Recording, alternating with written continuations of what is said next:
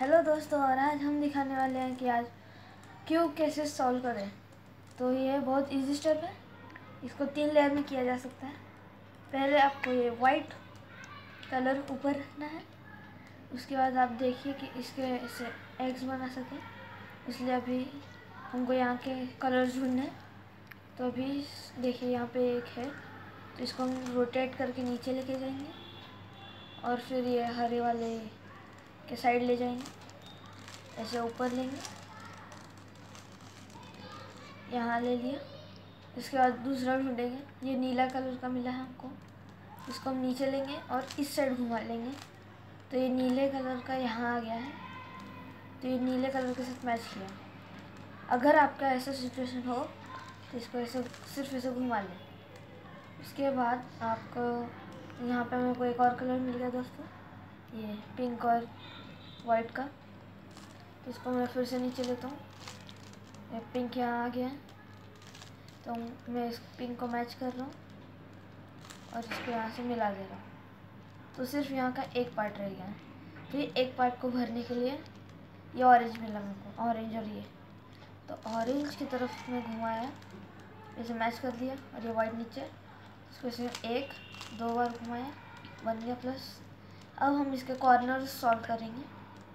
सारे कॉर्नर्स तो कॉर्नर्स ढूँढने तो ये हमको एक कॉर्नर मिला है पिंक और ग्रीन तो इसके साइड में जो कलर है ना, उसको आप पिंक कलर के इधर रखिए। देखिए सेंटर पॉइंट से कलर मैच करिए। तो यहाँ रखा है। इसको आप ऐसे देख लीजिए।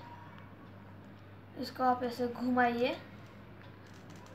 इस यहाँ है तो इसको यहाँ घुमाइए। जहाँ लेके जाना है, वहाँ ऐसे नीचे लीजिए। इसको यहाँ घुमा के ऊपर कर दिए ओके तो यहाँ से हमको ये कॉर्नर अच्छी जगह फिक्स हो गया। यहाँ से पिंक और ग्रीन दोनों मैच कर दिए। ओके, और बाकी के कॉर्नर ढूंढते हैं। यहाँ एक और कॉर्नर सॉल्व हो चुका है मेरा। तो एक कॉर्नर अभी ढूंढते हैं। तो ये मेरे को एक और मिल गया है ब्लू और पिंक तो इसका ब्लू साइड है तो हम इसको ब्लू के सेंटर पॉइंट से मैच करेंगे और इसको इसे घुमा के ये वाले राइट साइड वाले को नीचे लेंगे और डाउन को फिर से घुमाएँगे और ऊपर लेंगे।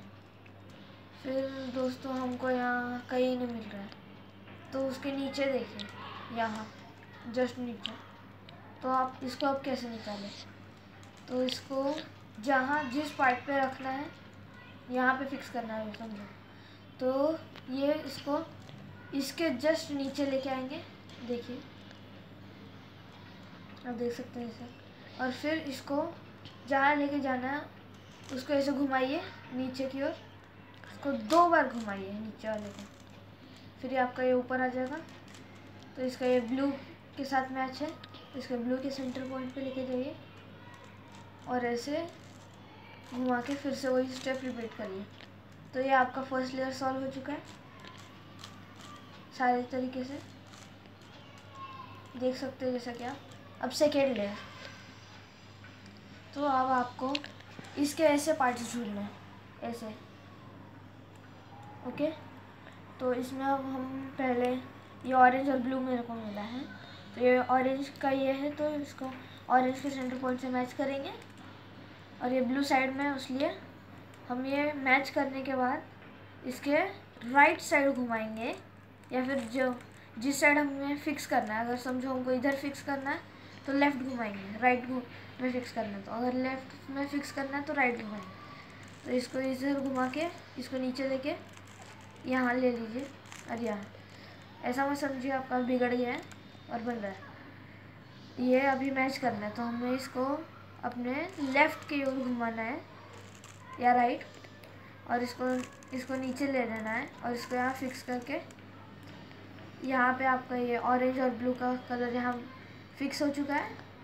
तो अब आगे जाते हैं और ढूंढते हैं। और ये ऑरेंज और ग्रीन मिला है ऑरेंज ऑरेंज और ग्रीन तो ये ऑरेंज के सेंटर पॉइंट से मैच किया।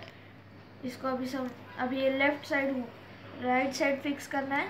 इसलिए हम लेफ़्ट साइड घुमाएँगे। तो लेफ़्ट साइड घुमाया, इसको नीचे लिया, इसको यहाँ लिया, ऊपर, ये दोनों मैच फिर उसको राइट साइड डाउन अप तो ये यहाँ पे फिक्स हो चुका है।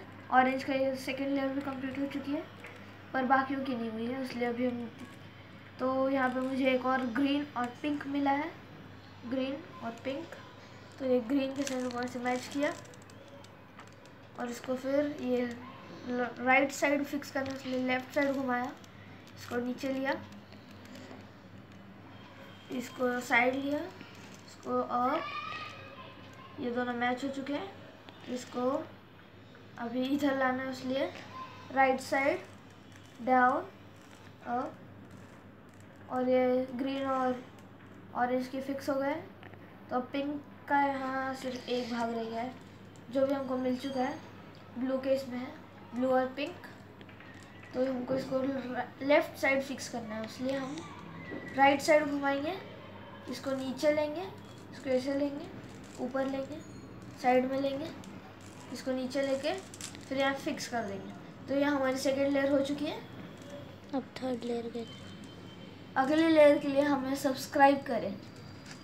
Please subscribe for third layer of Rubik's cube